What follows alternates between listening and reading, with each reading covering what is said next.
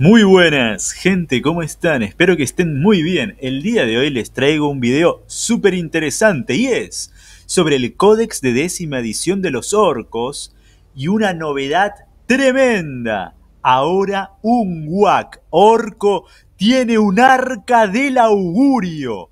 Intro y comenzamos. Humans die easily to the killing blow.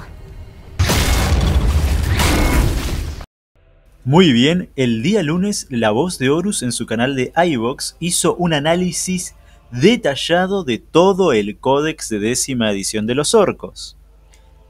Y dentro de todo eso hay algo que a mí me llamó muchísimo la atención y me parece lo más importante del desarrollo del trasfondo de los orcos en décima edición.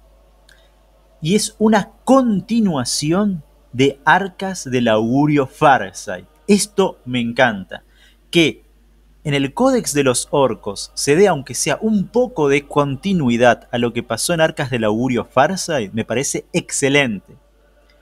Porque de todas las campañas de Arcas del Augurio, esa en particular fue la que se sintió más desconectada de todo ese movimiento narrativo que fue Arcas del Augurio. Era como algo que pasaba ahí, obviamente servía para la renovación de Farsight, etc. Pero era un movimiento publicitario que en lo narrativo no aportaba prácticamente nada.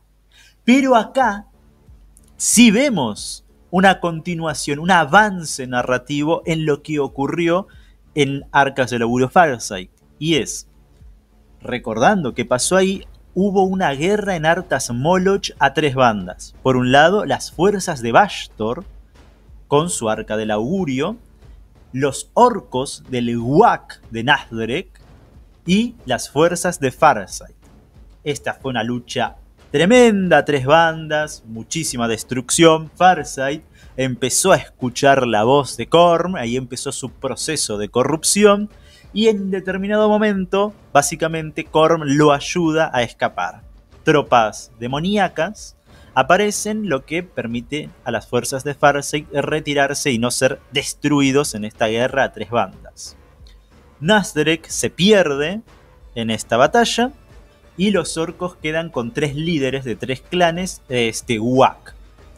Los orcos deciden, no es muy interesante enfrentarse a los Tau, son poca cosa, pero acá tenemos demonios, marines espaciales del caos, las fuerzas de de Bastor lideradas por un príncipe demonio. Entonces es mucho más divertido perseguir a las fuerzas de Bastor y eso es lo que hacen los orcos. Como decía, las fuerzas de Bastor están lideradas por un príncipe demonio, Ugalax, el devorador de almas. Y los orcos tienen tres líderes nuevos que disputan el trono vacío dejado por Nazarek, que son Volgrok, Colmillaco, Skargra, Pisotón y el Niebla Q3. Entonces, ahora los orcos, liderados por estos tres jefes, están luchando en contra de las fuerzas del príncipe demonio Ugalax y al final abordan el arca del augurio, el impío. Así es como se llamaba esa arca del augurio. La guerra entre las fuerzas caóticas y de los orcos llegan a su clímax cuando Ugalax es asesinado.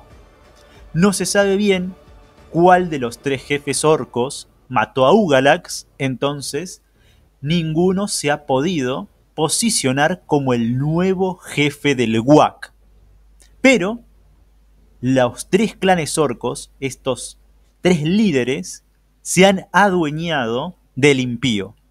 Ahora esa arca del augurio le pertenece a los orcos y le han cambiado el nombre, la han rebautizado ahora ya no es más el impío, es el supercozo.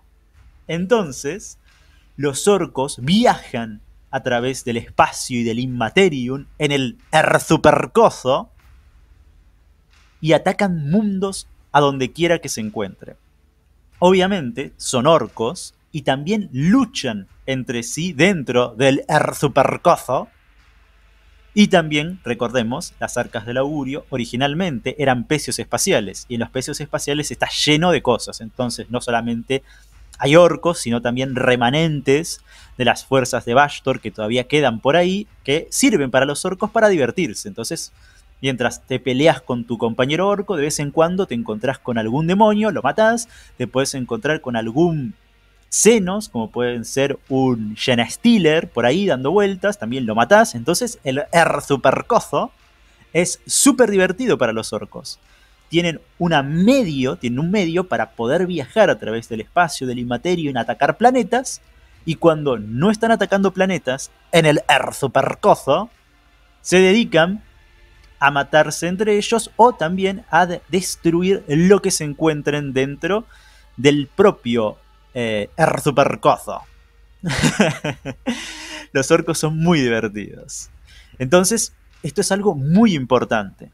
Las arcas del augurio, como todos recordamos, son pecios espaciales muy, muy poderosos. O sea, han, sido pecios espaciales reconvertidos en supernaves por Bastor. Entonces, que los orcos en este momento tengan un pecio espacial transformado en arca del augurio para atacar planetas es algo increíblemente peligroso. Cualquier planeta de cualquier facción, ya sea Tau, el Imperio, lo que sea, que se encuentre en el camino de estos orcos, de este Uak, está en grave peligro. Porque ya de por sí, creo que todos lo entendemos, un Uak orco es muy peligroso. Y este Uak de los Luna Malvadas, que era el clan de Nazdrek, siempre ha sido un Uak tremendamente complicado de enfrentar. Ok, en este momento ya no tienen a su líder, a Nazarek, que era un líder muy, muy capaz. Ahora tienen a tres líderes y más o menos estos orcos luchan entre sí. Pero sigue siendo un WAC y los WAC siguen siendo tremendamente peligrosos. Entonces, enfrentarte a un WAC ya de por sí es muy duro. Imagínense lo terrible que es que además de enfrentarte a ese WAC, ese WAC esté en poder, esté en posesión de un arca del augurio. Y también los otros peligros que pueden llegar a tener los pecios espaciales. Porque imaginémonos que haya un culto Gen Stealer dentro de Erzupercozo, escondido por ahí, esperando llegar a un planeta y saltar al planeta para poder extender la infección Gen. Entonces es una situación muy, muy complicada la que se nos presenta con Erzupercozo y los orcos que allí adentro habitan.